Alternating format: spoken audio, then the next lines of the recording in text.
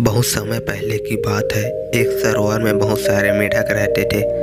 सरोवर के बीचे बीच एक बहुत पुराना धातु का खंभा भी लगा हुआ था जिसे उस सरोवर को बनवाने वाले राजा ने लगवाया था।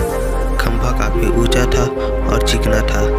एक दिन मेढकों के दिमाग में आया कि क्यों न एक रेस करवाई जाए। रेस में भाग लेने वाले प्रतियोगी को, को खंभे में चढ़ना होगा। और जो सबसे पहले ऊपर पहुँच जाएगा, वही विजेता माना जाएगा। रेस का दिन आ पहुँचा। चारों तरफ़ बहुत भीड़ थी। आसपास के इलाकों से भी कई मेढक आए थे। माहौल में सरगर्मी थी। हर तरफ़ शोर ही शोर था रेस शुरू हुई। लेकिन खंभे को देखकर भीड़ में एकत्र किसी भी बैठक को ये यकीन नहीं कोई भी मेढक ऊपर तक पहुँच पाएगा। हर तरफ़ यही सुनाई देता था अरे ये तो बहुत कठिन है वो कभी भी ये रेस पूरा नहीं कर पाएँगे। सफलता का तो कोई सवाल ही नहीं। इतने चिकने खंभे पर चढ़ना नहीं जा सकता। और यही हो भी रहा था। जो भी मेढक कोशिश करता वो थोड़ा ऊपर जाकर नीचे गिर जाता कई मेढक दो तीन बार गिरने के बावजूद अपने प्रयास में लगे हुए थे, पर भीड़ तो अभी भी चिल्लाई जा रही थी।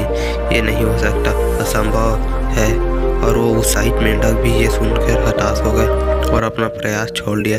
लेकिन उन्हीं मेंढकों के बीच एक छोटा सा मेंढक था, जो बार बार गिरने पर भी उसी जोश के साथ ऊपर चढ़ने में लगा हुआ था।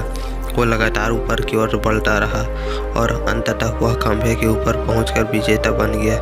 उसकी जीत से सभी को बड़ा आश्चर्य हुआ। सभी मेंढक उससे घेर लिए और उससे पूछने लगे, यह संभव काम कैसे कर दिखाया? पर तुम्हें यह संभव काम कैसे कर दिखाया?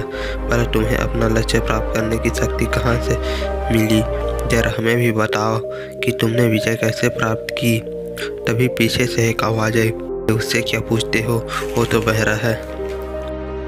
अक्सर हमारे अंदर अपना लक्ष्य प्राप्त करने की काबिलियत होती है, पर हम अपने चारों तरफ़ मौजूद नकारात्मकता की वजह से खुद को कम आँख बैठते हैं और हमें जो बड़े बड़े सपने देखे होते हैं, उन्हें पूरा किए बिना ज़िंदगी गुजार देते हैं। आवश्यकता इस बात की है कि हम, हमें भी मेढक की तरह कमज़ोर बनाने वाली हर आवाज़ के प्रति बहरे और ऐसे हर एक दृश्य के प्रति अंधे हो जाएँ, तब हमें सफलता शिखर पर पहुँचने से कोई रोक नहीं पाएगा।